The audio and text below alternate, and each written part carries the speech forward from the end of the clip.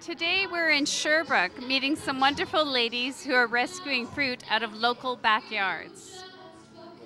Well, this program started out um, when we saw the discarded fruit going bad on the trees. Um, we thought, well, last year we came up with this plan. We started with apples that uh, we would try to rescue the fruit and process it in the form of pies and just use that as fundraising. And also the preserves started coming out of it as well.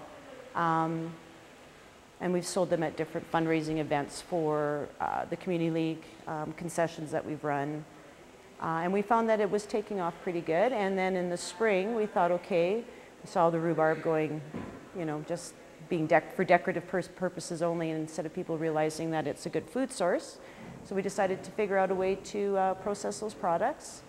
Um, and we came up with uh, jam. So we add, uh, we have, of course, just straight rhubarb, but you, when you add strawberry or vanilla or raspberries, which are quite prolific here in Edmonton as well. Um, we create a really delicious jam that uh, even kids don't know rhubarb's in there, so which I don't know is good or bad. A lot of people like the taste of rhubarb, so they say, but I don't believe them. We're always looking for volunteer opportunities uh, to connect people in the community, and on Linking Boomers, we saw that Carol had put an ad in there wanting people to pick fruit.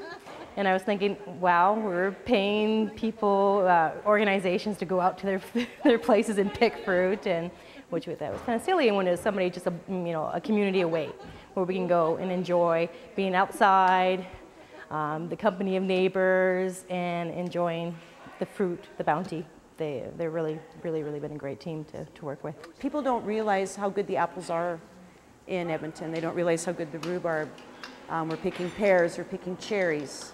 Um, raspberries were very abundant this year. I cried how many I saw just falling off the bushes. But I mean, I rescued probably 100 pounds just in my back alley and, and from neighbors' yards who are kind enough to open their yards up to me, which is a challenge. That's the challenge too, is to connect with the people with the fruit. Will you allow us to come into your yard and? You know, you have to work out those challenges and work out what's a good um, for some people, just get rid of it. They're happy to get rid of it.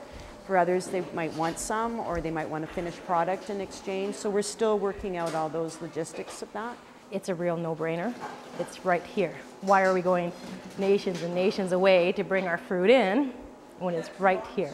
And again, I think when it comes to programming for people with developmental disabilities, I think our, the way we think is like nations and nations away when we have such a warm community just making friendships, knowing our neighbors, being connected to community. It's just, it's, it's so simple, but we've gotten away from it. We've, we've gotten, you know, into this mill and we're just doing it what we've always done. We're going to do it differently now.